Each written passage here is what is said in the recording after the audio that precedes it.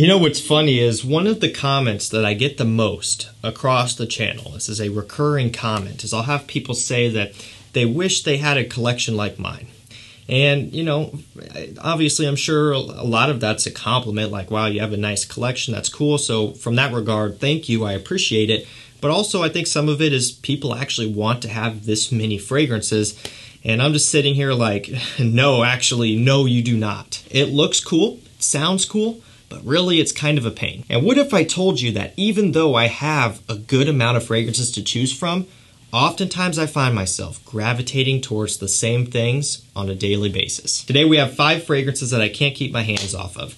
And I'm kind of like this with everything, not just fragrances. I'll get on like a kick, on a tangent, where, you know, maybe I'll go back to something, whether it be a, a, food that I used to like all the time, and then I stopped eating it, and then I start eating it now every day, or a, a song that I like to listen to, or a fragrance. You know, I get on these kicks where I discover something again, and then I can't stop. I can't leave it alone. I wear it, I smell it, I eat it until I get sick of it again. And that's what we have here. Five fragrances I can't keep my hands off. These have been ones that I've really been enjoying lately.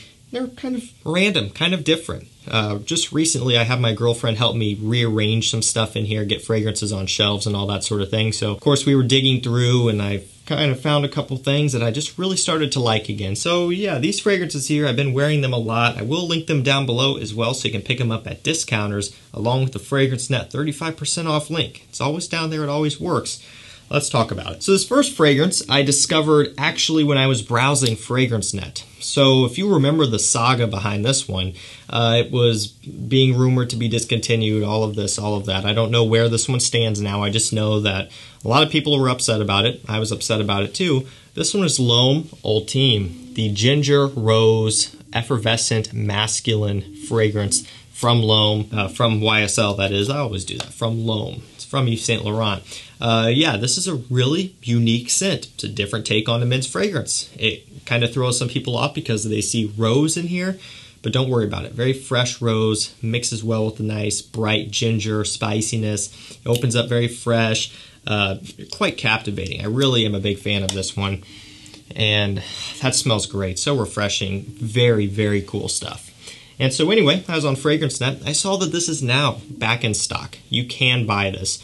Uh, they did have a 100 mil available. They had one left, and I looked again and it was gone, so obviously someone picked that up. I believe all they have now is the 2 ounce bottle. Again, I will link it down below and that 35% off link as well, so you can get this one for, you know, lowest price pretty much online, which I believe falls in the $60 range for 2 ounce, somewhere around in there. If you've been looking for this one, go ahead and pick one up. Uh, I already obviously have one here, but I did go ahead and pick up a backup bottle, one of the two ounce bottles that they had there, just in case it would go out of stock, just in case it is going to be discontinued or is already or is going to be or whatever. I'm not sure. I just would like to have another one around because I think this is truly amazing stuff. Make sure you check it out. So this next one is a new fragrance. So I discovered this one when it came out and I bought it at full retail price. 155 or 159 dollars for 100 mil. That's up there. That is Versace Eros Parfum. I never thought I would say this, that I can't keep this off my skin. But it's the truth. I've been wearing this and smelling this one all the time. I think it's a great flanker. It essentially has the same note breakdown as Eros, EDT, EDP, the apple, the vanilla, the mint, but I find that this version here is even more rich, even more refined, even more mature. Uh, did I say even more mature? I mean more mature than Eros EDT and EDP, which really aren't mature at all. So if you want something with a bit of a mature, refined take, check this one out. And also what's cool about this one is FragranceNet has these in stock already. Uh, 100 ml bottles, testers with cap, so it'll look just like this for 68 bucks. That is crazy this early on. That's basically half off retail. I would jump on that if I were you. It's stronger, it's richer, it is a more mature take. In my opinion, it is the best Eros flanker, and I am super happy with it. Honestly, I'm not too salty about paying the retail price. I really enjoy it, but that 68, that that's hard to beat. So this next fragrance, we have one from Valentino. This one is Uomo Intense. So yeah, the former hype monster. You know, this was uh, all over the place at one point. At this point, it's kind of settled down just like with any fragrance that catches a good amount of hype, it eventually kind of trickles off. But that doesn't mean then that it is a bad fragrance now. It just means that the hype train has moved on to something else. And I think it's really easy to have that happen where, you know, a fragrance starts getting a bunch of hype, you pick it up, you realize that it is justified in that attention, and you start wearing it all the time. You're like, oh, this is the best thing ever. I love this.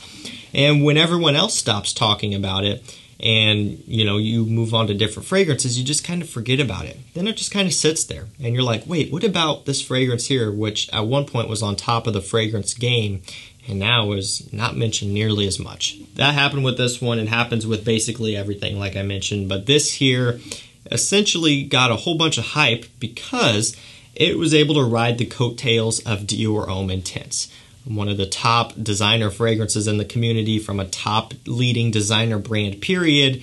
Uh, they were able to tag on to that very well, and it worked out great for them. It's got vanilla, it's got iris, it's got some peppery spiciness going on. It's very smooth. It's a little bit more wearable, a little bit less challenging to some extent than Dior Homme Intense, right? That one is very lipsticky, very iris heavy. This one has the iris too, but more vanilla. It's more smooth. It's a bit more creamy than the Dior in that regard. So I would say from a, a brand new fragrance collector standpoint, you know, you're new to the game and you were wanting to pick one up and you were between one or the other, I would probably say to start off with the Valentino. So neither of them are really cheap either. Um, both are going to be around $100. Uh, the Valentino here, I believe, is on discounters. You can pick it up there. I will link it down below if true. Um, so it, it's not a cheapie, but it is really nice. It's worth the price in terms of the quality, in terms of the performance, in terms of the smell, right? It obviously smells like the Dior. It doesn't make this 100% original, but it is a nice twist on that. It is a nice, more wearable, approachable take from a great designer brand as well. Very cool bottle, very classy, very sexy. It's a great compliment getter. Great for the fall and winter time. Running down to the end already, we have John Varvatos Pour Homme, just the original with the cool fake leather wrap around the bottle. These John Varvatos bottles are really cool, and uh, the fragrances themselves are on the more affordable side, which is cool. Leather, fur, amber, vanilla are a few of the main notes here. It's uh, a very smooth, masculine, sexy men's fragrance, kind of on the more traditional side of things. It's not an aquatic. It's not a super sweet vanilla tonka bean party hype monster fragrance. It's not a Versace Eros bubblegummy fragrance. It's none of the popular stuff. It is just really truly kind of a, a refined gentleman's cologne, you know, something a bit more classic. And I really like that. It's a nice change of pace. You know, it's nothing too loud, it's nothing too gaudy, it's nothing that is, you know, crazy out there. It just smells really pleasant. It's a very mild leather fragrance. It's not like Tuscan leather or even ombre leather or, you know, any of the stronger, more challenging leather fragrances out there. Not that ombre leather is too challenging, but this one's even more toned back than that.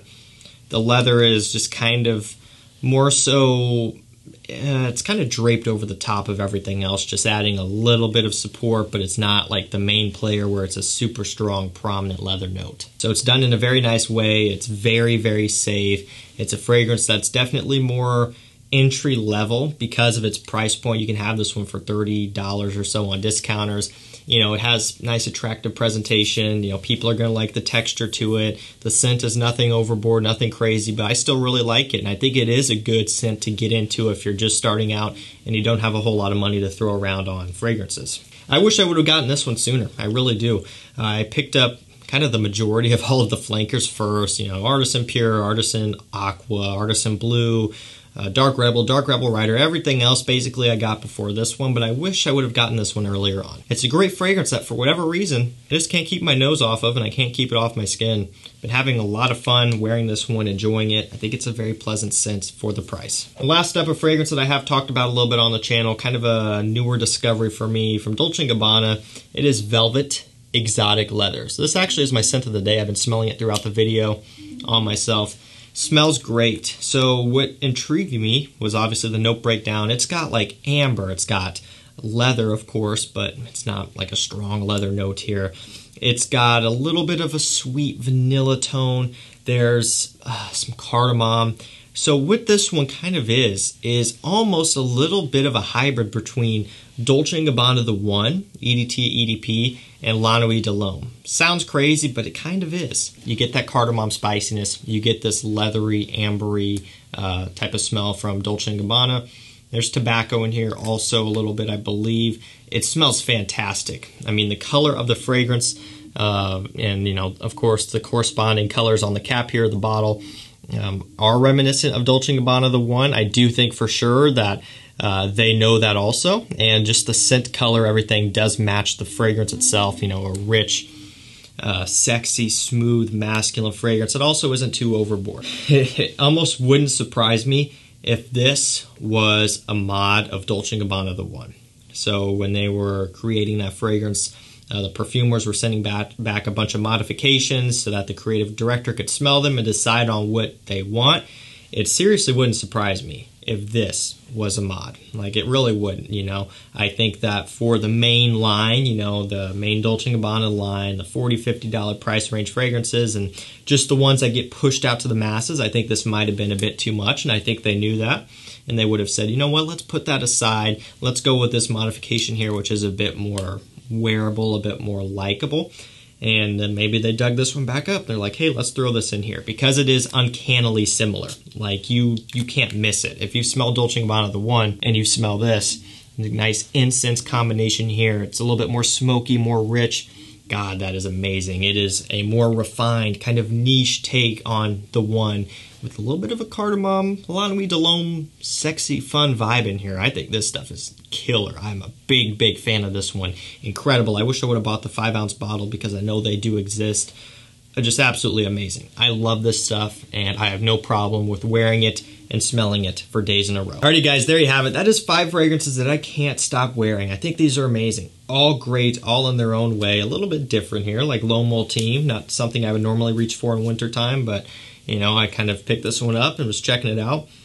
And I'm like, man, why don't I wear this more? Now would be a good time to start while I'm just hanging out inside. Let me know down below what are some fragrances that you can't stop wearing, you can't keep your nose off of. And remember, I will provide links to all these down below, along with the Fragrance Net 35% off code, so you can check out through there and get the lowest price. That code link is always in my videos. Again, it's just a link, it automatically applies. So at any point, if you're gonna shop with them, make sure you hit that gives you the best price. Sometimes I try to give you 25, sometimes I try to give you 20, sometimes I try to give you nothing. Don't fall for that. 35 always right down there. That's going to do it for me. Thank you so much for watching. Stay safe, stay healthy. Coming up on New Year's. So uh, I'll see you then, but hey, happy early New Year's, New Year's Eve Eve. Have a fun one this week. Do some partying. You deserved it. It's been a great year. We'll see you tomorrow with another one. Take care.